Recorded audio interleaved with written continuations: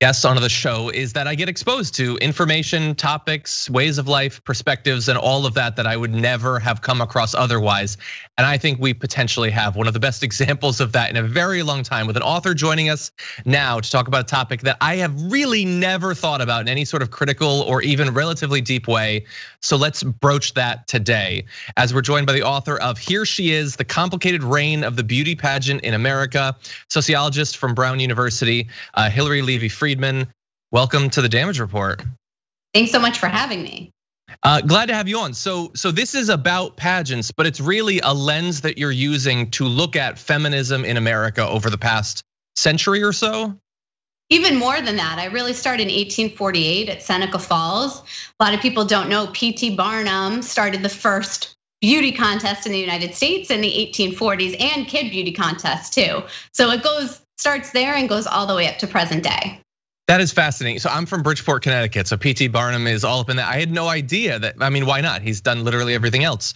So, um, so let's talk about the the evolution over the time. You have a long time frame here that you're talking about.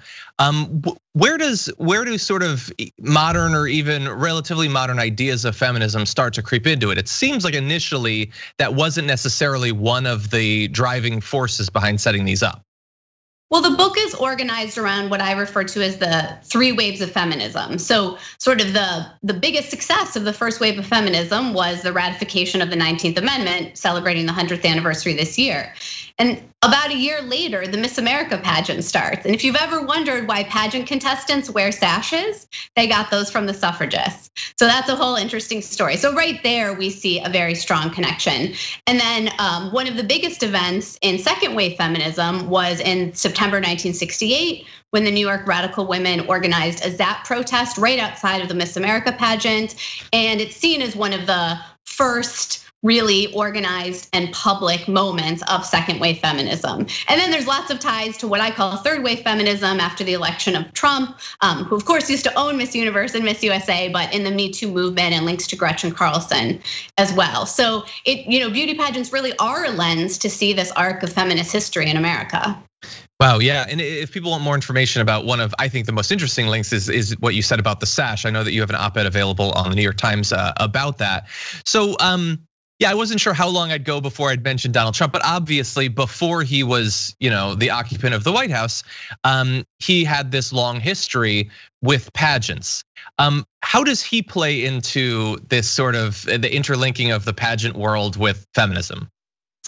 Well, for sure, what Donald Trump did when he was owner, which he has admitted to, and then many of the contestants have talked about, uh, really fulfills some of the worst stereotypes about beauty pageants. So here's a man who owns the pageant and he would go backstage and sort of in his own words he would inspect the goods um, and even some of the former beauty queens who are very supportive of him like carrie prejean who was miss california usa you may recall because there was a big brouhaha that she said she didn't believe in same-sex marriage and she was named first runner-up so anyway even she said he came one day and he divided the contestants between hot and not. And she was like, I, she, this is in her memoir. I was, she said she was glad to be in the hot group, but she felt sorry for the people who were in the not. So really, Donald Trump fulfills those stereotypes. Miss USA and Miss Universe has a very specific history that it is explicitly a beauty pageant always has that swimsuit component um, because of how it started. And so Donald Trump is actually a really bad example um, and somewhat a rare example because the pageant world tends to be dominated by women and not by men. So eh, is that you know behind the scenes as well as on the stage in terms of organizing it, promoting it, profiting from it for all of that? That is more um, leaning towards women. Yeah, I mean, a lot of people will say this is beauty pageants are terrible because women are being judged by men and evaluated based on how they look. And there's lots and lots of truth in that.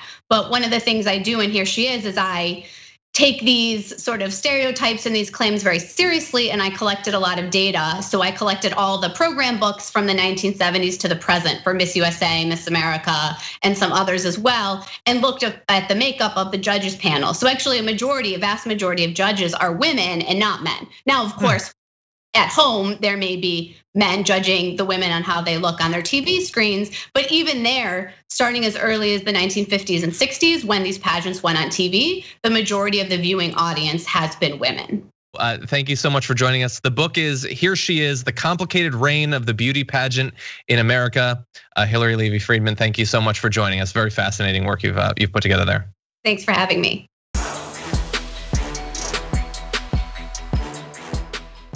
For more political news breakdowns, interviews, stories of activism, and me trying my hardest to care about the occasional big celebrity news story, subscribe to our YouTube channel at youtube.com slash the damage report. And you can ring the bell wherever it is so you don't miss anything.